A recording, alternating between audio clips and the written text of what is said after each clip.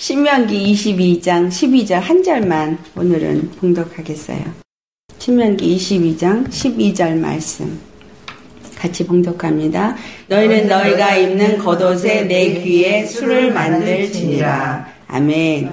도대체 이 겉옷에 술을 만들어 입는 이건 무엇을 의미하느냐. 자, 이스라엘 사람들이 이 말씀을 딱 읽으면 금방 알아요. 겉옷에 내 귀에 술을 만드는 게 뭔지를 알아요. 근데 이방인들은 알래야 알 수가 없죠. 민수기 15장 38절에서 40절 말씀을 보시겠어요.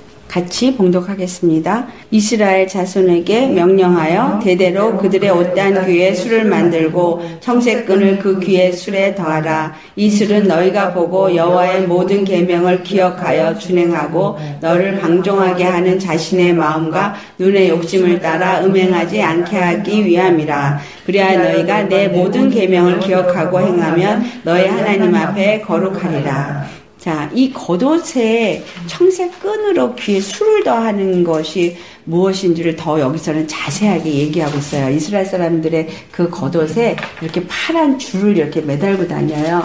그리고 거기에 이렇게 매듭이 또 이렇게 져 있고 다리새인들이 제사장들이 이렇게 머리에다 쓰는 스카프 같은 거 있죠? 파란 줄이 있는 거 그거에도 보면 거기도 이렇게 어, 끈이 있고 술이 달려 있어요. 여기서 이 옷단 귀에 술을 만들어서 청색 끈을 달게 하는 거 이것이 갖고 있는 의미는 바로 39절 40절 말씀이라는 거예요. 이 술은 너희가 보고 이 술을 볼 때마다 무엇을 기억하라는 거냐면 여호와의 모든 계명을 기억하여 준행하고 너를 방종하게 하는 자신의 마음과 눈의 욕심을 따라 음행하지 않게 하기 위함이라. 겉옷에 내 귓단에 이 술을 달게 하는 건 여호와 하나님의 계명을 기억하고 준행하도록 하기 위함이에요. 첫 번째는 두 번째는 우리로 하여금 자신의 마음과 우리 자신의 욕심을 따라서 하나님 앞에 음행하지 않게 성경에서 말하고 있는 음행이라는 거. 이 음행은 우리가 가늠하는 거를 말하잖아요. 아내가 남편을 떠나서 다른 남자와 동침하는 걸 음행이라고 표현합니다. 그런데 예수님이 우리 주 여호와께서 계속 이스라엘에게 말씀하시는 음행은 하나님 외에 다른 신을 섬길 때에 음행한다고 표현해요. 그래서 그 음행하는 것, 다른 신에게 나가서 절을 하는 것은 자신의 마음과 눈의 욕심을 따라서 행하는 것이다. 라는 거죠. 우리가 이 땅에서 지금 예수님을 믿는다고 말합니다. 근데 예수님을 믿는 믿음이 도대체 무엇이냐? 내가 믿는다고 하면서 내 자신의 마음이 원하는 것, 또 내 눈의 욕심을 따라서 그것을 따라가고 그것을 추구하는 것이 하나님 앞에 음행이라는 거예요. 그 술을 그들이 뭐 옷 단에다가 계속 그걸 달고 옷을 입고 다니는 거예요. 겉옷은 이스라엘 사람들의 겉옷은 그들의 신분을 나타내요. 그리고 그 신분을 나타내는 그 겉옷에 그 술을 늘 청색 끈과 술을 달게 하는 것이 누구를 기억하는 거? 여호와 하나님을 기억하게 하는 거예요. 여호와 하나님의 규례를 기억해야 되고 그 명령을 받은 이스라엘인이라는 걸 기억하는 거예요. 오늘 우리가 그렇다면 예수 믿는 우리에게 이 규례와 술과 같은 역할을 하는 게 뭘까요? 십자가. 그쵸? 그 십자가를 바라볼 때 예수 그리스도가 나의 주인이 되어지신 걸 기억하는 거예요. 십자가를 통해서 내가 구원을 받은 걸 기억하는 거예요. 그 십자가 외에는 나에게 구원의 길이 주어지지 않았다는 것을 기억하는 거야. 그러니까 그 십자가를 믿고 십자가를 따르고 십자가를 사랑하고 그 십자가만을 의지하는 자가 되어져야 되는 게 이 구약의 술과 같은 거예요. 청색끈이라고 말하죠. 청색끈. 청색은 하나님의 신성을 상징한다고 제가 말씀을 드렸잖아요. 하나님의 신성이 예수 그리스도의 신성이 나타난 곳이 십자가예요. 신성이라는 의미는 인성이 아닌 다시 말하면 죄인이 아닌 거룩한 자라는 걸 나타낸 곳이에요. 거룩하신 이라는 의미는 엄밀하게 말해서 구약에서 말하고 있는 거룩함의 의미는 구원자라는 의미예요. 오직 거룩하신 이는 하나님 한 분이야. 그 다음에 다른 모든 사람들은 다 죄인이야. 그러니까 거룩하신 이는 하나님 한 분이라는 이야기는 하나님만이 구원자가 될 수 있는 분이다. 이 말이 바로 청색의 의미예요. 제사장들에게 지성소로 들어갈 때 청색 옷을 입게 한 건 바로 예수 그리스도의 그 피로 말미암아 거룩함을 입은 흰색 옷을 입고 그 위에 청색 옷을 입은 것은 하나님의 신성을 덧입고 들어가야 될 것을 말한 것이고 바로 그 예수님이 우리에게 100% 인성으로 오신 사람이고 또 100% 하나님의 거룩함을 가지신 신성이 되심을 말하고 있다. 예수 그리스도 안에서 그 피로 말미암아 거룩함을 입은 의롭다함을 입은 사람이 되어졌고 내가 이제 죄사함을 받았구나. 그렇다면 그 다음엔 죄와 사망의 법에서 내가 건짐을 받은 걸 믿고 생명의 성령의 법에 사는 사람이 되어진 게 청색 옷을 입은 거예요. 그리스도의 의를 입은 자로서 의인이 되어진 자가 되어진 것이 말하는 거죠. 그래서 십자가는 예수님이 나의 죄를 사해 준 것만을 말하는 게 아니에요. 그 십자가에 이제는 믿는 믿음의 의로 그 십자가 안에서 사는 자로 사는 것. 죄에 대해서는 죽은 자요. 의에 대해서 사는 자가 되어지는 것. 이 두 가지를 다 말해주고 있다라는 거죠. 십자가를 바라볼 때 예수님이 죽으신 것만을 생각하고 눈물을 흘리는 사람이 많아요. 하지만 예수님 안에서 내가 완전한 자유를 얻고 그 의 안에서 기뻐하고 감사하며 천국을 누리는 삶을 사는 거를 잘 몰라. 근데 이 두 가지가 다 그 십자가에 포함되어 있다라는 거죠. 옷단 귀에 청색끈에 술을 만들게 하신 그 이유는 바로 내가 그 인성의 죄를 벗어버리고 예수 그리스도의 신성을 입은 자가 된 것을 기억하라 이 말이에요. 예수님이 정말 나의 주인이 되어 지셨습니까? 그가 십자가의 죽으심으로 죄와 사망의 법에서 나는 건짐을 받고 생명의 성령의 법 안에서 내가 사는 자가 되었다라는 이 로마서 8장 1절 2절 말씀. 같이 봉독해요. 그러므로 이제 그리스도 예수 안에 있는 자에게는 결코 정죄함이 없나니 이는 그리스도 예수 안에 있는 생명의 성령의 법이 죄와 사망의 법에서 너를 해방하였습니다. 예수 그리스도 안에서 이제는 결코 정죄함이 없기 때문에 내가 자유함을 얻은 자가 되었어요. 근데 그 의미를 다른 말로는 죄와 사망의 법에서 해방받았다라고 말하는 거예요. 이것만 말하는 것이 아니라 왜 법이라는 단어를 썼느냐? 죄와 사망의 법은 사단이 그 법으로 율법으로 나를 계속해서 정죄하고 참소합니다. 더 이상의 참소가 있을 수 없고 더 이상 율법에 매입을 받은 자가 아니다라는 이야기를 하고 싶은 거예요. 두 번째, 생명의 성령이 법이 이제는 나를 다스리는 법이 되어졌다. 이 말이죠. 그러니까 생명이 나를 다스리고 성령이 나를 다스리는 자가 되어진 거예요. 생명이 나를 다스리고 성령이 나를 다스리는 걸 그 밑에 보니까 아 육신을 따르지 않냐고 영을 따르는 자가 되어진 거구나. 육신의 생각을 따라 사는 자가 아니라 영의 생각을 따라 사는 자가 되어야 하는 것이구나. 그래서 6절 말씀이 육신의 생각은 사망이요. 영의 생각은 생명과 평안이라고 말했고, 육신의 생각은 하나님과 원수가 된다고 7절에 말씀을 합니다.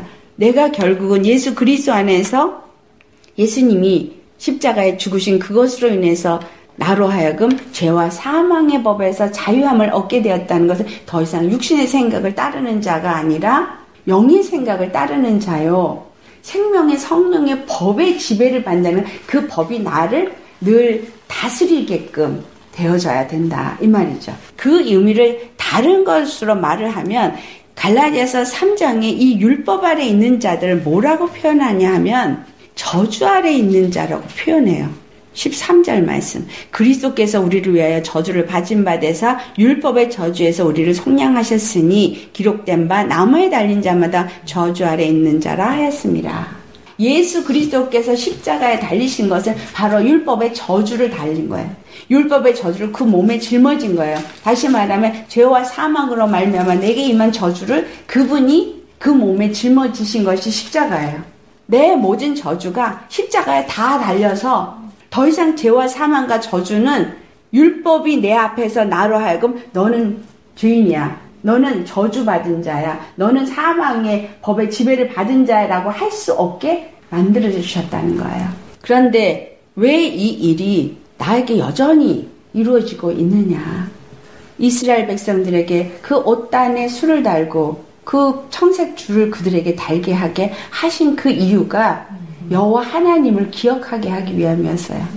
무엇을 기억해요? 여호와 하나님이 그들의 구원의 하나님. 다시 말하면 애굽에서 그들의 종살이에서 그들을 건져내신 하나님을 기억하라는 거예요. 오늘날 이건 똑같은 말씀이에요, 우리에게. 애굽에서 종살이하고 있었던 이스라엘을 건져내신 하나님은 오늘 나로 하여금 이 죄와 사망의 법, 율법의 저주에서부터 나를 건져내신 우리 주 예수 그리스도를 기억하라 이 말이에요. 십자가가 바로 나로 하여금 이 저주 아래 있는 나를 건져 내셨다라는 거예요. 그런데 14절 말씀을 보면 믿음으로 말미암아 성령의 약속을 받게 하려는 것이다. 라는 말씀을 하세요. 우리가 믿음으로 성령의 약속을 받는 그것이 어떤 의미를 말하고 있느냐? 이것이 민수기 15장의 말씀에서는 우리 자신이 눈의 욕심을 따라서 음행하지 않게 하는 것이 믿음으로 말미암아 성령을 받은 자가 되어지는 거예요. 생명의 성령의 법에 사는 자들은 죄와 사망의 법에 사는 자가 아니고 하나님의 의로 사는 자란 이야기잖아요. 그러니까 하나님의 의의 지배를 받고 믿음으로 사는 자이기 때문에 믿음으로 사는 자에게 성령이 임하시고 성령이 우리로 하여금 믿는 믿음으로 살도록 이끄시는 것. 이 자체가 생명의 성령의 법 안에 사는 거예요. 믿음으로 의의 삶을 사는 것. 믿음으로 의의 삶을 사는 게 갈라디아서 2장 20절의 말씀이에요. 죄에 대해서 나는 죽은 자요. 그리스도 예수 안에서 사는 자가 되어지는 것. 그러니까 그리스도 예수 안에서 사는 것이 바로 믿음으로 사는 거구나. 그리스도 예수 안에 사는 것은 다른 말로 말하면 우리 주 그리스도가 나의 주가 되어져서 나는 그 앞에 늘 순종하는 그 상태로 사는 것을 말하는 겁니다. 이 수를 다는 것은 모든 계명을 기억하고 준행하도록 하기 위함이라는 거예요. 모든 계명을 주신 걸 아, 율법을 기억하고 준행하라는 거구나. 이 말이 아니에요. 계명을 주신 이가 누구신가? 계명을 왜 주셨는가? 이걸 기억하라는 거야. 계명을 주신 이가 여호와 하나님이고 여호와 하나님이 계명을 주신 건 그분이 바로 우리의 하나님이 되어 주신다는 것을 기억하라는 거야. 그분이 바로 애굽에서부터 너희 종살이에서부터 너를 건져내신 너희의 구원의 하나님인 것을 기억하라는 거예요. 그 기억하게 하기 위해서 계명을 주신 거예요. 그리고 그 계명은 준행하도록 준 거예요. 계명을 준거 기억하고 행하라고 했으니까 행위로 해야 되는 거잖아. 그렇다면 그 행위가 어떤 행위냐라는 걸 우리가 알아야 되겠죠. 그 행위가 어떤 행위야?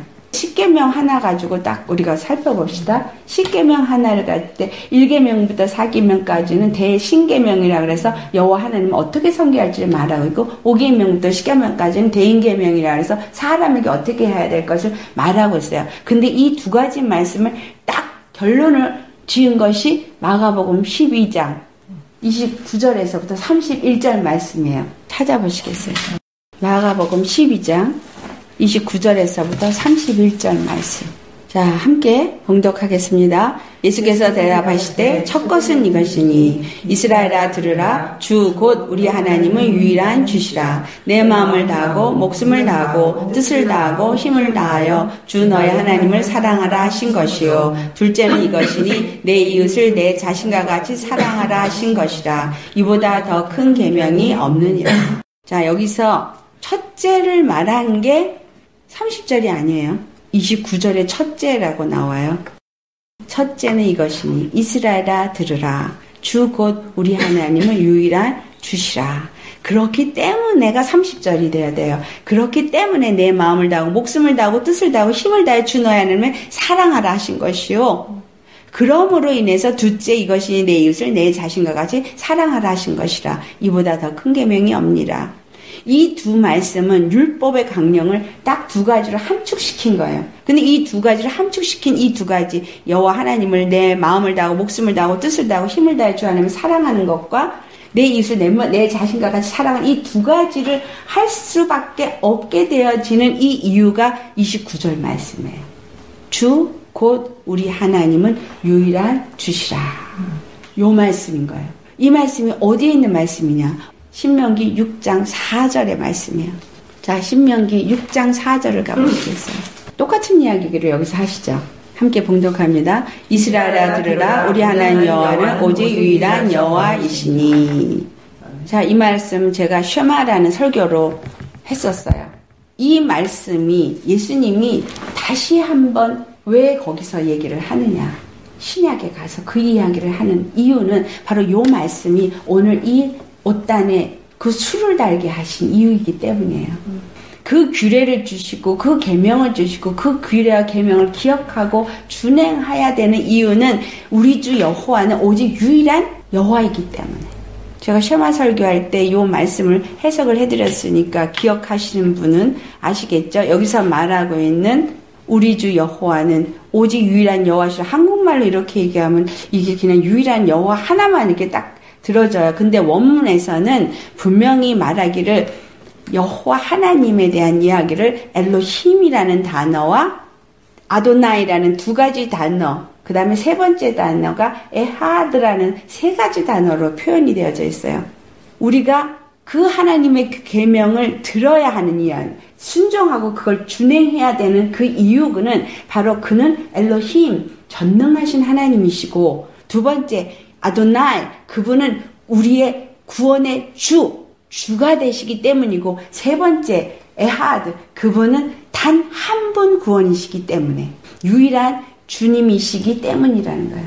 세 가지를 말하고 있어요. 하나님 앞엔 능치 못함이 없는 그리고 그분은 우리의 주인이 되어 주시고 그분은 바로 단 하나의 구원이 되시기 때문에 너희는 내 가 너에게 준 계명을 기억하고 그것을 준행해야 하는 거예요.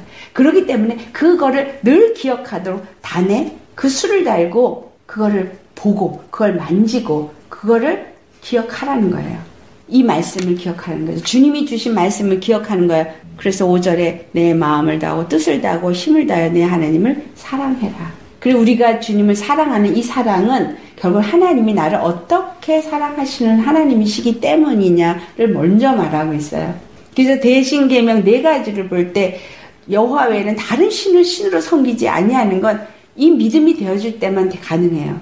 그리고 하나님 외에 다른 우상을 만들지 않게 되어지는 것도 하나님만이 나의 하나님으로 섬기고 그분만이 나의 주로 섬길 때 그분만이 단 하나의 구원으로 섬길 때 그거를 할 수 있는 거예요.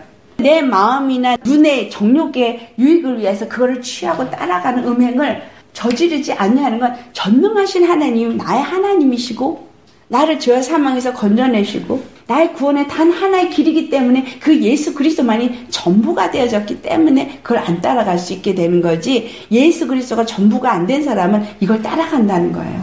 이 세상에 지금 청년들이 생존 경쟁 속에서 어떻게 하면 취직을 할까? 그 취직을 하기 위해서 3학년 때부터는 취업 준비를 한다고 제가 들었거든요. 그래도 나와서 취직하기가 하늘의 별따기야. 그래서 그 돈을 벌어서 결혼을 할 그 돈이 안 되지기 때문에 결혼을 기피한다는 얘기를 들었어요. 결국은 뭐야? 내 노력과 내 열심으로 아무리 노력을 해도 세상은 점점 점점 더 살기 힘들어지더라는 거예요. 예수님을 믿는 믿음이 없이 내가 뭔가 공부를 잘하고 좋은 대학교 나오고 그러면 좋은 직장을 다니게 되고 그래서 돈을 벌게 되어지고 사람들은 결국은 자기 욕심을 따라서 육체의 어떤 정욕을 채우기 위해서 세상에 사는 방법을 이루기 위해서 그걸 향해서 추구하고 추구하고 나아가게끔 누가 그 일을 해요? 사단이. 그 생각을 거기다 초점을 맞추게 하는 거예요. 근데 주님은 전혀 반대 이야기를 하고 있거든요. 너희는 너의 초점을 나에게 맞춰. 그 옷단에 술을 달고 그 술을 늘 보고 만지고 기억하는 건 너의 하나님 여호와가 너의 단 하나의 구원인 걸 기억하라 이 말이에요. 십자가가 없어지는 이야기는 십자가의 구원을 온전히 알지 못하고 그걸 그냥 상징으로 치부해 버렸기 때문이에요. 그건 그냥 상징이야. 예수님이 구원을 다 이루셨어. 끝. 그 다음에 이 구원을 이루신 거를 믿는 사람은 어떻게 가야 할 그것이 십자가가 또 말해주고 있는 거거든요. 너는 죽었어. 죄의 사람은 죽었어. 너는 이제 의의 사람으로 살아야 돼. 예수 그리스도가 이루신 그 생명, 그 평안을, 그 생명의 성령의 법안을 너는 사는 자가 되어야 돼. 이걸 계속 말하고 있는데 요건 얘기를 안 해주는 거야. 그리고 이제 믿으니까 그 다음에 예수 이름으로 구하면 들어준다 소리는 들어가지고 내가 이게 필요해요. 저게 필요해요. 이거 주세요. 저거 주세요. 하는데 기도 응답이 안 이루어져. 욕심을 따라 구하면 안 된다고 하니까 또 구하지도 못하겠고 이러지도 못하겠고 저러지도 못하겠고 사는 건 힘이 들고 점점 점점 더 어렵고 이런 어려움 저런 어려움으로 그냥 얻어맞아서 피투성이가 되어지고 만신창이가 되어져서 어떻게 믿어야 될지를 모르는 이 상황이 되어진 거예요. 이스라엘이 바로 그와 같아진 거예요. 그들이 여호와 하나님을 기억하지 않냐고 여호와 하나님만을 사랑하지 않냐고 우상을 섬김으로 인해서 결국 가나안 땅에 들어가서 농사를 어떻게 지을 줄 모르니까 그 땅에 살던 가나안 족속들이 섬겼던 바알과 아세라를 그들이 섬기면서 왜냐하면 유목민족이어서 농사 질 줄을 몰라요. 결국은 그들이 하는 것을 따라 하면서 그 바알이 하나님으로 믿은 거죠. 즉 말하면 이 땅에서 내게 주어진 이 물질과 어떤 이러한 것들이 나를 행복하게 해주고 이게 지금 필요하기 때문에 당연히 해야 되는 일이라고 믿고 따라가는 이게 우상을 섬기는 거라는 생각을 못하는 거와 똑같은 이야기예요. 우리 주님을 정말 내가 마음을 다하고 뜻을 다하고 힘을 다해서 사랑하느냐. 오직 여호와 하나님만이 나의 구원이라고 믿고 그 모든 상황에 그분께 구하느냐. 그렇지 않느냐. 이것이 이스라엘에게 숙제였던 것처럼 오늘 이 시대를 살고 있는 우리에게도 동일한 숙제가 주어진 것, 우리 주 예수 그리스도 외에는 다른 길을 주지 않았다라는 이야기예요. 에하드, 유일하신 하나님. 자, 요한복음 17장 3절의 말씀이에요. 요한복음 17장 3절 말씀. 뭐라고 말하고 있어요? 영생은 곧 이것이니. 영생은 뭐라고 그랬어요? 유일하신 참 하나님과 그가 보내신 자 예수 그리스도를 아는, 것이라. 여러분 어떻게 알고 계시냐?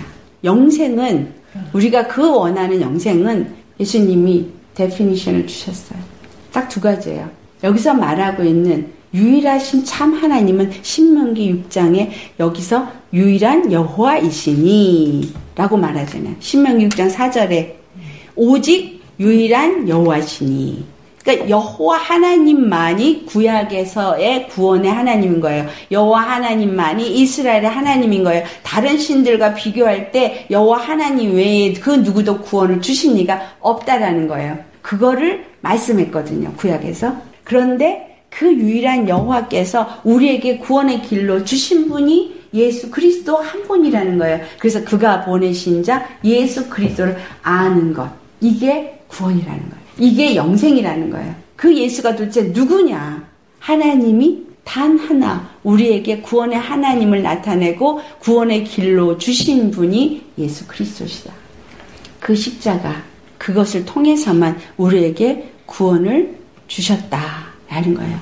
신명기 6장에 보면 5절 이하로 뭘 말해? 이 사람들에게 자녀들에게 부지런히 가리키래. 이 말씀을 너희 마음에 새기고 내 자녀들에게 부지런히 가르치고 집에 앉아 있을 때든지 길을 갈 때든지 누워 있을 때든지 일어날 때든지 이 말씀을 강론하고 이 말씀을 계속 그들에게 들리게 하고 내 손목에 매어서 기호를 삼고 내 미간에 붙여 표를 삼으라 그래서 이 사람들은 머리에다가 묶고 손에 묶고 문 들어가는데 거기다가 붙여놓고 다 해요. 그러면서 여호와 하나님을 주로 안 섬겨. 똑같은 얘기예요. 성경책 맨날 끼고 다니고 교회 맨날 다녀요. 그리고 말씀 들어요. 옷단에 술 다른 것처럼 십자가 목에 걸고 다녀요. 그런데 그 안에 진짜 우리 주 여호와를 어떻게 섬기는가는 안 하고 있는 거예요. 이 말씀이 여기만 있는 게 아니라 민수기 15장에도 또 말을 하세요. 근데 거기 가기 전에 신명기 6장 12절 말씀 봉독해 보겠어요. 너는 조심하여 너를 애굽 땅 종되었던 집에서 인도해 내신 여호와를 잊지 말고 13절에 내 하나님 여호와를 경외하며 그를 섬기며 그의 이름으로 맹세할 것이니라. 14절 말씀 너희는 다른 신들 곧 내 사면에 있는 백성의 신들을 따르지 말라. 이 말씀을 하시는 것이 민수기 15장에 또 나오는데 무엇을 말하고 있느냐? 이와 같이 하신 그 이유는 그들에게 복을 주기 위함입니다. 15장 말씀에 이거를 주신 이유가 41절 나는 여호와 너의 하나님이라 나는 너의 하나님이 되려고 너희를 애굽 땅에서 인도해 내었느니라 나는 여호와 너의 하나님이니라 나는 여호와 너의 하나님이라 너의 주가 되고자 함이라 나는 너의 하나님이 되려고 반복해서 지금 세 번이나 말을 해요. 나는 너의 하나님이 되려고 너희를 애굽 땅에서 인도해 내었느니라. 나는 여호와 너의 하나님이라. 나는 여호와 너의 하나님이라. 너의 전능하신 구원자니라. 이 말이에요. 예수 그리스도가 십자가에서 죽으신 것은 우리의 하나님, 우리의 여호와가 되기 위함이다라는 나의 주가 되기 위함이라는 거예요. 주님이 되어 주시고 그분을 내가 주로 섬길 때에는 주님이 나의 모든 통치가 되어지고 나의 모든 것을 다 주장하시는 분이 되어지셔서 결국 내가 그의 주신 모든 복을 누릴 수 있는 자가 된다라는 이야기예요. 주님이 우리에게 어떤 복을 주시려고 하느냐. 그 말씀이 정말 우리가 너무너무너무너무 원하는 것을 말하고 있어요. 자, 신명기 11장을 가보시겠어요? 신명기 11장 18절로부터 이러므로 너희는 나의 이 말을 너희 마음과 뜻에 두고 또 그것을 너희 손목에 매어 기호를 삼고 너희 미간에 붙여 표를 삼으며 또 그것을 너희 자녀에게 가르치며 집에 앉아 있을 때든지 길에 갈 때든지 누워 있을 때든지 일어날 때든지 이 말씀을 강론하고 또 내 집 문설자 바깥문에 기록해라 라고 말씀하세요. 자, 우리가 읽을 말씀 21절로부터 25절까지 같이 봉독합니다. 그리하면 여호와께서 너희 조상들에게 주리라고 맹세하신 땅에서 너의 날과 너의 자녀의 날이 많아서 하늘이 땅을 덮는 날과 같으리라. 너희가 만일 내가 너에게 명하는 이 모든 명령을 잘 지켜 행하여 너의 하나님 여호와를 사랑하고 그의 모든 도를 행하여 그에게 의지하면 여호와께서 그 모든 나라 백성을 너희 앞에서 다 쫓아내실 것이라. 너희가 너희보다 강대한 나라를 차지할 것인즉 너희의 발바닥으로 밟는 것은 다 너희의 소유가 되리니 너희의 경계는 곧 광야에서부터 레바논까지와 유브라데 강에서부터 서해까지라 너희 하나님 여호와께서 너희에게 말씀하신 대로 너희가 밟는 모든 땅 사람들에게 너희를 두려워하고 무서워하게 하시리니 너희를 능히 당할 사람이 없으리라 아멘. 이 말씀대로 되었어요. 이스라엘 사람들이 가서 가나안 땅을 다 점령했고 거기에 있는 나라 백성을 다 쫓아냈죠. 그들을 당할 자가 없었어요. 이 말씀은 우리에게 오늘 동일하게 주시는 말씀이에요. 내 심령에 온전히 주의 말씀이 기록되어져 있다면 18절 말씀 나의 이 말을 너의 마음과 뜻에 두고 내 마음과 뜻에 둔다는 얘기를 내 심령과 내 생각에 이 말씀이 있는 거예요. 여호와 하나님은 누구시라고 전능하신 나의 주 단 한 분 구원이시라는 게 내 마음에 딱 새겨져 있어서 그분을 주로 모시는 사람이 되어지면 그래서 주의 말씀대로 내가 순종하는 자가 되어진다면 그 말씀이 요한복음 15장 7절 말씀이에요. 내 말이 너희 안에 거하고 너희가 내 안에 거하면 이 말과 같은 말이죠. 그 말씀이 나를 지배하고 그분이 나의 주가 되어지고 나는 그분 안에 거하는 다른 말로 표현해서 포도나무가 되어지고 나는 그분의 가지가 되어지면 완전히 저 붙어 있는 거예요. 주님이 주시는 말씀 외에는 아무것도 먹지 않냐고 그 말씀만 따라 사는 자가 되어지면 이 말이잖아요. 그럴 때는 이스라엘 백성들이 가나안 땅을 정복한 걸 우리한테 이미 구약의 샘플로 보여주고 있어요. 다 차지하게 되리라. 하나님의 나라가 되리라. 주님이 내 안에 성령을 보내주신 이유예요. 그분은 아까 우리 읽었죠? 하나님이 되고자 나의 하나님이 되고자 그 모든 일을 하셨다는 거예요. 이스라엘의 하나님이 되고자 그들을 가나안 땅에 들어가게 하신 것처럼 내 심령이 하나님이 나의 하나님이 되고자 나의 주가 되고자 생명의 주가 되고자 내 안에 생명을 부으시고 생명으로 사는 생명의 나라가 되게 하시는 거 이게 생명과 성령의 법 안에 사는 거예요. 생명과 성령의 법이 내 마음과 내 생각을 주장하는 상태. 그래서 그 생명을 누리는 상태. 아멘. 그 성령이 나를 주장하는 상태. 그게 하나님이 나의 하나님이 된 상태예요. 예수님이 나의 주가 되어진 상태. 그러면 다 쫓아낸대요. 내 안에 있는 정말 어떻게 바꿔, 어떻게 안 돼, 걱정할 게 없는 거예요. 그냥 말씀대로 순종만 하면 성령을 보내주신 이유가 바로 그와 같은 이유요. 그것이 바로 나에게 영생을 주기 위해서 나를 하여금 주님이 그 일을 하실 거라는 거예요. 다 쫓아내는 거예요. 다 쫓아내는데 내가 밟는 땅마다 두려워한대. 내가 가는 곳마다 누가 두려워하는 걸 말하고 있어요? 영들이, 영들이 두려워하는 거예요. 결국은 우리로 하여금 사람들을 여기서 건져내오는 일을 하시기 위해서 나에게 성령을 주신다는 거예요. 내가 원해서 구하니까 성령을 주는 게 아니라 주님이 밟는 곳마다 땅을 빼앗아 오게 하기 위해서 성령을 주신 거예요. 만나는 자마다 그 영혼들을 건져내기 위해서 주시는 거예요. 말씀 주시겠어요? 안 주시겠어요? 주시죠. 왜냐하면 다른 사람들을 뺏어 와야 되거든. 닿는 곳마다 땅을 하나님의 땅으로 회복을 시켜야 하는 게 하나님의 뜻이기 때문에 그러니까 뭐만 하면 되냐? 나는 주님 앞에 온전히 순종하는 종만 되어지면 생명의 성령의 법 아래 그냥 사는 믿음의 사람만 되어지면 내 안에 오신 성령이 그 일을 이루어 가실 거라는 거예요. 내가 하는 게 아니고 그분이 내 안에서 그 일을 하신다. 그 다음에 한 말, 너희 앞에 내가 복과 저주를 줄게. 너는 뭐를 택해? 명령을 들으면 복이 될 것이고, 명령을 듣지 않으면 저주가 되어진다. 아주 심플해요. 그러니까 주님을 믿으면 복이 되어지고, 믿지 않으면 저주가 그대로 너의 것이 되어져 있다라는 거죠. 신약에서는 오직 예수 그리스도의 십자가를 믿느냐 믿지 않느냐 이 딱 두 가지만 있는데 믿음을 보니까 그리스도 예수 안에 있는 믿음으로 말미암아 이렇게 표현되어 있거든요. 믿음이 그리스도 예수 안에 있다라고 표현한 이유는 십자가가 믿음이기 때문에 그렇게 십자가의 믿음은 내가 죄에 대해서 육신에 대해서 죽은 것고 의에 대해서 성령에 대해서 사는 자가 되어진 거라는 거예요. 복잡한 게 하나도 없어요. 근데 내가 이게 성령으로 가다가 육으로 가버리니까. 그래서 너희가 성령으로 시작했다가 육으로 마치려고 하느냐라는 이야기를 하는 거죠. 아볼로에게서 세례 받았어. 나는 바울에게 받았어. 나는 사도들에게 받았어. 이러고 서로들 얘기하는 게 오늘날 나는 어느 목사님 밑에 성도야. 나는 무슨 교회 성도야. 이 얘기하고 똑같은 얘기예요. 그러니까 사도 바울이 너희를 구원하신 건 우리가 아니다. 예수님이시다. 그 말이에요. 그 예수님을 바라보라는 거예요. 예수님이 너희의 구원이고 예수님의 십자가가 바로 너희를 생명을 주시는 통로요. 너희가 영생을 얻을 수 있는 단 하나의 유일한 길이다. 이게 옷단에 술을 달게 한 이유예요. 날마다 기억해야 되는 거예요.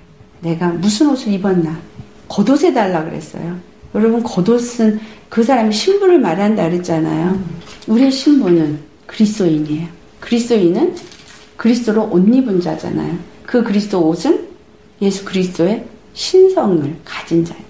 그러니 예수님의 능력을 가진 사람은 십자가의 죽은 자예요.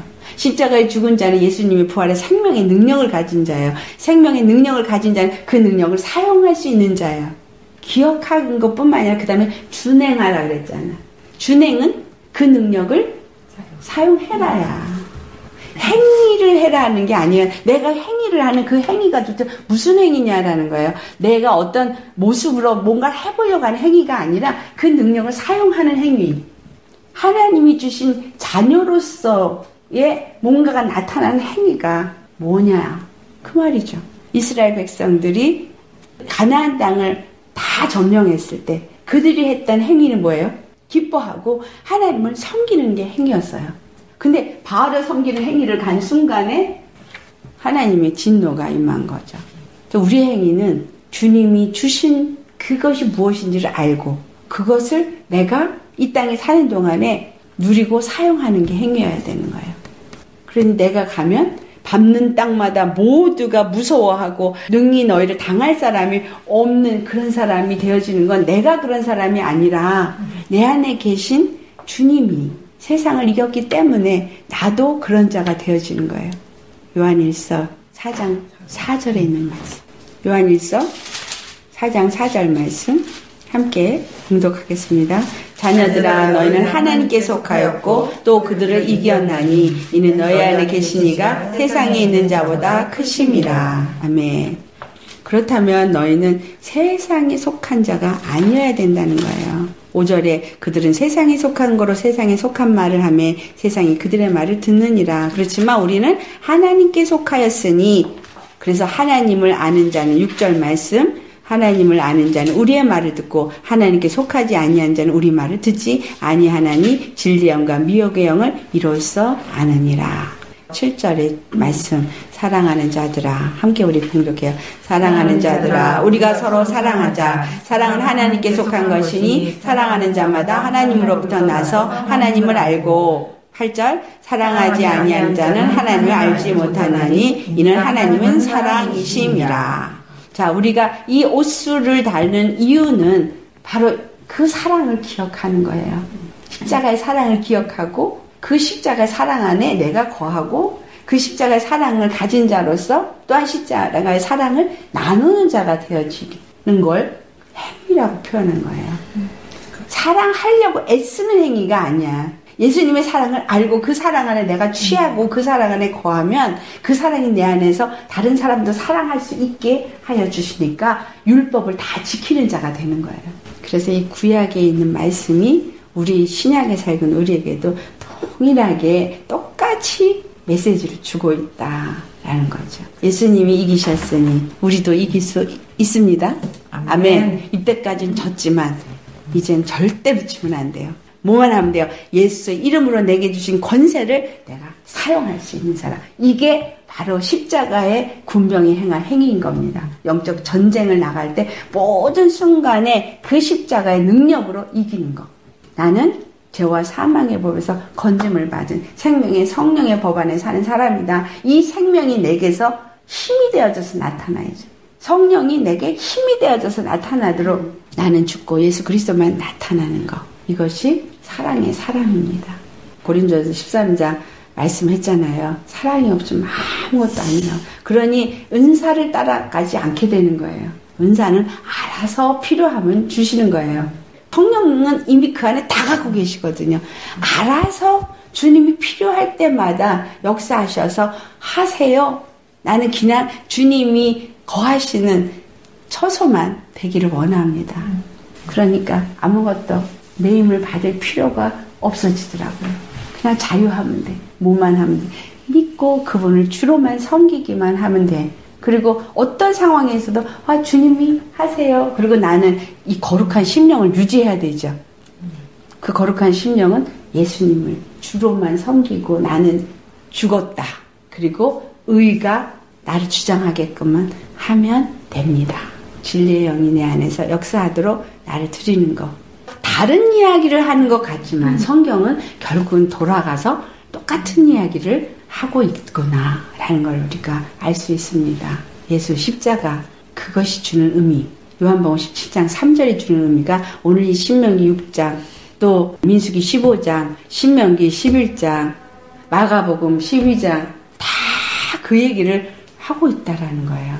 예수님도 요한복음 17장에 그 이야기를 또 하신 거고.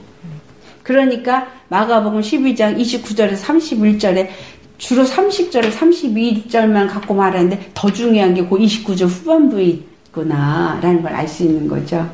예수님도 구약을 끌어다가 왜 그 말을 하셨는지 그게 무엇을 의미하고 있는지를 말씀하고 있는 거잖아요.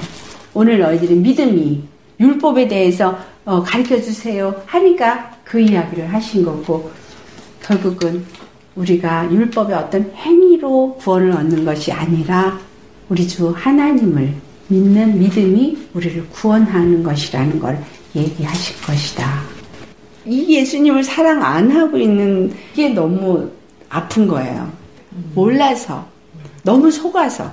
우리는 이걸 알고 행복하게 살아야 돼. 그러면, 아, 에베소 1장에 우리를 찬송의 기업으로 어, 예정하셨다는 이 말씀이 바로 이런 거구나라고 알게 되잖아요. 어, 그 주님이 나를 찬송의 기업으로 예정을 하셨으니 그 능력을 내게서 나타나게끔 하시는 건 당연한 건 거야. 그러니까 그거를 사용해야 되는 건 당연한 건 거예요. 해도 되고 안 해도 되는 게 아니라 당연히 해야 되는 거고 그걸 나타내서 하나님이 기뻐하게 하는 거. 아, 주님이 기뻐하는 게 뭔지를 알 수 있게 되잖아요. 이렇게 세상 걸 다 버려도 오케이 할 만큼 예수님이 좋은 이유는 예수님 안에 세상이 다 들어있거든.